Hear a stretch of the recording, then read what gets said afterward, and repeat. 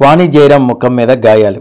CCTV ఫుటేజ్లో shocking విషయాలు. సుమధుర వాణి వాణి జయరాం కన్ను మూసిన సంగతి అందరికీ తెలిసిందే. చెన్నైలోని సుంగంబాక్కంలోని నివాసంలో ఆమె అనారోగ్యం పరిస్థితుల వల్ల మరణించినట్లుగా ముందు మీడియాకి సమాచారం అందింది. అయితే ఆమె మృతి అనుమానాస్పద స్థితిలో ఉన్నట్లుగా ఇప్పుడు కొన్ని నివేదికలు బయటికి వచ్చాయి. చెన్నైలోని సుంగంబాక్కం ప్రాంతంలో ఉన్న తన నివాసంలో వాణి జయరాం తుది శ్వాస విడవగా ఆమెను ఎవరో కొట్టినట్లుగా వాణి నుదురిపైన బలమైన గాయాలు ఉన్నాయని ఆమె ఇంట్లో పనిచేస్తున్న పని మనిషి గుర్తించినట్లుగా తెలుస్తోంది. ఈ మేరకు పోలీసులకు సమాచారం ఇచ్చి వాణి జయరాంను పని మనిషి స్థానికులతో కలిసి హాస్పిటల్కి తరలించినట్లుగా చెప్తున్నారు. అయితే ఆమెను ఆసుపత్రికి తీసుకువచ్చే సమయానికే ప్రాణాలు కోల్పోయిందని డాక్టర్లు ప్రకటించారు. పని మనిషి ఇచ్చిన సమాచారం మేరకు కేసు నమోదు చేసుకున్న పోలీసులు వాణి జయరాం ఇంటిని తమ ఆధీనంలోకి తీసుకుని సీసీటీవీ ఫుటేజ్ని పరిశీలిస్తున్నారు.